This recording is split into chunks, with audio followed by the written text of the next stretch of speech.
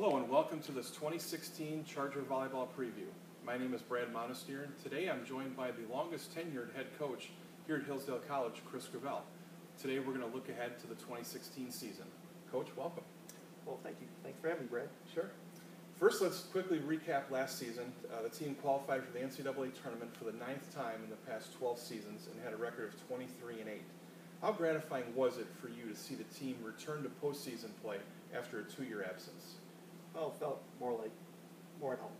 You know, uh, I mean, making it back to the NCAAs, that's what we feel we should be able to do every year. I mean, uh, it's although we feel that something is supposed to be done, it's a difficult challenge, and um, it takes a lot of things to go right.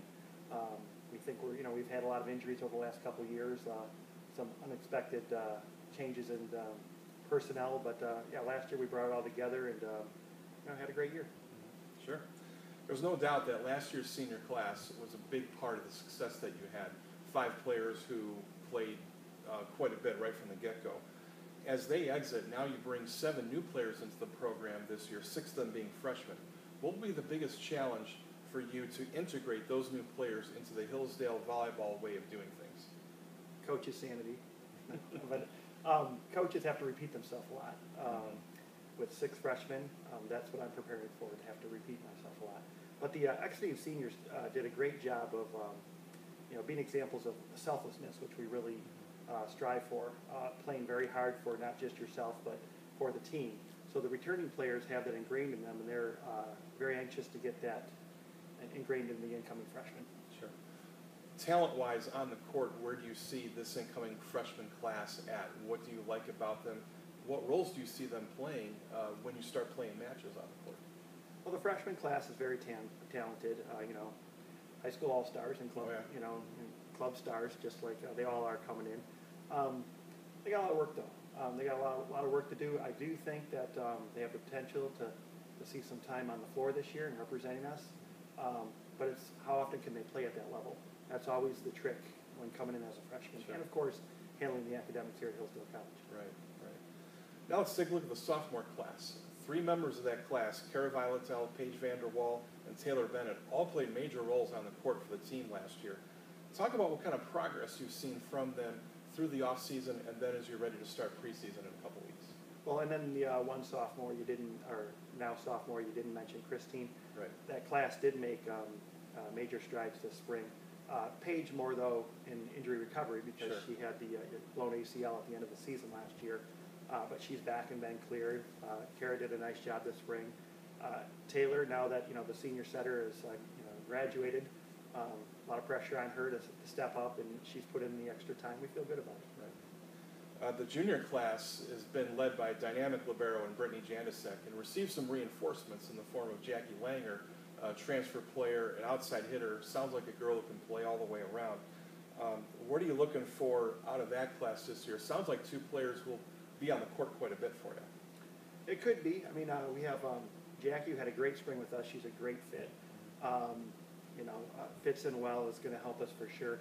But there's a lot of competition on the outside that she's going to have to compete with, and I think, um, you know, how she handles that, we'll see. She she's new. I mean, although she's a junior, she is new to our program. And then we have Brittany, who you know has been has been tough, has been playing, has been helping us on game day. Well, she just had another surgery on Friday and not expected to come back at the beginning of the season.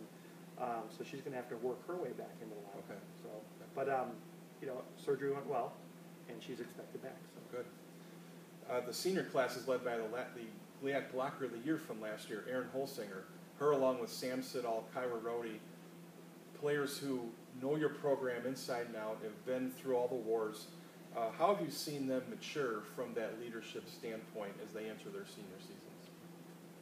Well, that's nice. I mean, you mentioned Erin Blocker the year, and she can, you know, she wants to continue on that path. She made strides this spring too. I mean, she's even better than she was. So we're looking for a lot of great things there. I mean, Kyra played a lot last year. Um, Sam, although not on the floor, is, I mean, she, like you said, knows our program inside and out, and uh, all three of them are going to offer us the leadership that we need in that, you know, in that right. class. You're known for breaking your season up into phases, and one of the first phases is the two early season tournaments. Uh, you guys are headed to Clarion in Pennsylvania, and then uh, Findlay, the same stops that you made last year. What type of things will you be looking for out of the team to consider that phase a success? Well, in that phase, we really like to, you know, push ourselves, but also um, test our versatility. Um, see what kind of options we're going to have uh, during the regular season. I know we started out with a team. Uh, we opened up. They have five seniors. Okay, so they should, you know, and we have six freshmen. Right. So we have to, to figure that out. Then we play, you know, uh, Cedarville, who you know had some great wins last year, and is always a strong team. I, mean, I think they beat uh, Indianapolis and Southern Indiana last year. Um, so they're, they're a strong program. Uh, let's play Clarion. I mean, they made it to the NCAAs last year. Gannon made it to the Sweet 16 last year. We play them, and I think uh, another big team that we play is uh, Pitts Johnstown, who was also in the NCAAs, and heck, they had a 29 win season. So I mean, we've got some teams that are used to winning that we have to play, but um, we're kind of used to that all year. So at least we need to get used to that. Right. Uh, Coach, last question. Uh, in our, as we go into our last year in the GLIAC, we're switched back to the North Division. What kind of challenges does being in the North Division with powerhouses like Ferris State and Grand Valley present for your team, which does skew a little on the younger side, as you mentioned? Uh, you had mentioned it. Um, you know, you have two powerhouses like Ferris and Grand Valley. I mean, you really don't need to say any more except Sure. for that. But um, no, I mean they've had some turnover also. They've got Okay. some young young people coming in, and uh, they're always great matches. Uh, I mean, it's, it's it's exactly what we need. You know, I mean, uh, we want to play tough competition, and, and, and they are. So Excellent. it'll be a good year. Well, Coach, we thank you very much for your time and giving us some insight into the new season, and we wish you best of luck in the upcoming year. And we thank you for watching this 2016 Charger Volleyball Preview. Hey, thanks.